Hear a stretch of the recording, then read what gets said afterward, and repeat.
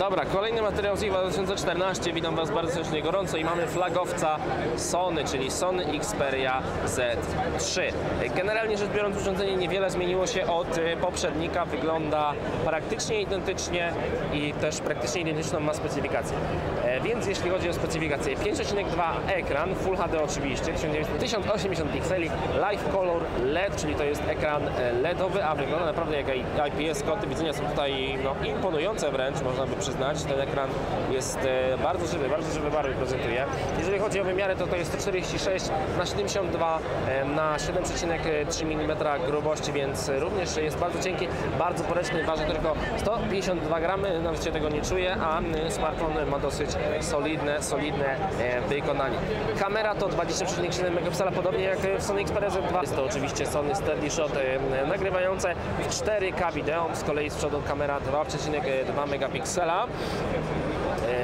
Co jest oczywiście bardzo, bardzo fajną informacją. E, W środku 300 mAh bateria i oczywiście IP68 e, certyfikat odpowiadający za zapewnienie tutaj odporności na kurz oraz wodę, więc możemy z tym mm, smartfonem skakiwać bezpośrednio e, do basenu. Z prawej strony standardowo złącze kart microSD, przycisk blokady uruchomienia ekranu, no i przyciski głośności. Jest spust migawki, co jest naprawdę bardzo ważne i bardzo się ceni. Zastanawiam czy to jest drugi głośnik tutaj, czy to jest coś e, zupełnie innego. Być może możemy smartfona używać dwustronnie, nie? Przynajmniej tak mi się nie wydaje. Nie wiem, co to jest. Tutaj mamy... o, Tutaj mamy złącze, czy złącze, taką szparkę do smyczy przyczepienia. Złącze oczywiście dokujące i złącze ładowania. Także do góry znajduje się jeszcze, a mikrofon dodatkowy tak z szumu plus e, oczywiście złącze audio 3,5 mm. Jeżeli więc chodzi o Z3, to również tutaj, no cóż, możemy się spodziewać tylko jak najwyższej jakości. Zaraz sprawdzimy system, jest to najpewniej 444 KitKat. Tak wygląda aparat. E, Przetestujmy jeszcze może, e, przetestujmy jeszcze może zdjęcia, e, jeśli chodzi o przednią, przednią kamerę. Dzień dobry, to ja. Tak to mniej więcej, tak to mniej więcej wygląda. Pan tutaj chce zrobić selfie sobie zrobić, nie, nie chciał zrobić. E, Okej, wychodzimy z tego aparatu teraz w jaki sposób.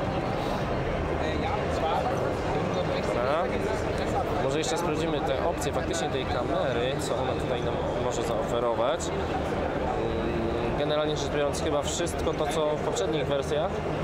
Albo nawet jest to, no nie, tutaj mamy tą inteligentną scenę. Tak, jest to dokładnie to, co w poprzednich wersjach.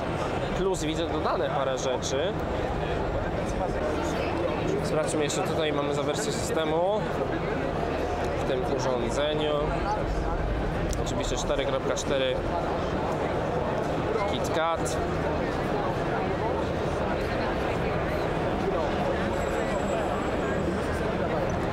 Czy jest może jakiś internet, e, żeby sprawdzić jak to, e, jak to chodzi. Więc nie, nie ma internetu, więc nie sprawdzimy nic. Generalnie smartfon sprawuje, sprawia naprawdę bardzo fajne wrażenie, zresztą tak jak poprzednik i muszę przyznać, że jest to po prostu kontynuacja dobrego produktu, e, więc jak na razie Sony powiedzmy zastosowało taki samsungowy ruch, czyli za dużo nie zmieniło i wprowadziło e, na rynek produkt po prostu nową wersję, odświeżoną, ale też nieznacznie. To wszystko w tym hands to była Sony Xperia Z3, dzięki za uwagę.